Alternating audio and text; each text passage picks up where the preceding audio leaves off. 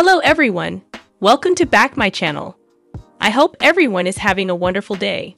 Before starting the video, please go ahead and hit the subscribe button and give this video a thumbs up.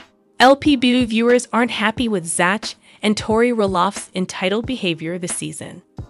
Little people, big world viewers think Tori and Zach Roloff's behavior has become entitled this season. Season 24 of LPBW kicked off earlier this month, and the drama among the Roloff family continues to play out. Zach and Tori uprooted their family from Oregon to Washington after negotiations with Matt Roloff to purchase the north side of the farm fell through. The rift has extended into other relationships too. Zach and Tori aren't speaking with Matt's longtime girlfriend, Karen Chandler, who has called the ordeal painful. And as viewers watched this season, Zach and Tori newest child, son Josiah, to Karen. Following the Tuesday, November 8 episode of LPBW, disgruntled viewers took to Twitter, where they sounded off regarding Zach and Tori's behavior, which many of them have deemed entitled.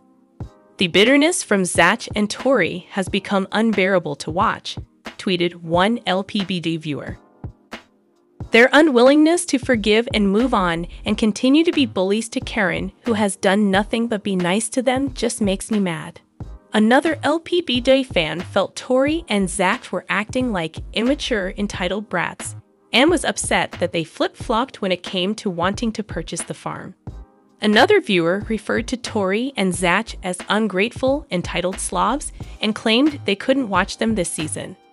Another show fan wrote that Tori and Zach are not nice people and felt they were using their kids Jackson, Lilah, and Josiah as leverage, calling them terrible parents, noting that exes Matt and Amy built the Roloff empire.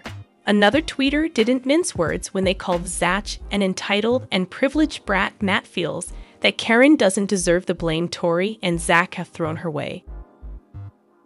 Although they haven't disclosed what went down behind closed doors, LPBW viewers know that Zach and Tori negotiating the purchase of the farm didn't go well. The failed business deal has caused a divide between Zach and his dad, and Amy has shown her support for her son, believing that Matt should have tried harder to keep the entire farm in the family. When he couldn't reach an agreement with Tori and Zach, Jeremy, and his wife Audrey, Matt decided to list the farm for sale only to pull it off the market a few months later. Matt has changed his plans and will renovate and remodel the farmhouse to rent it out for staycations.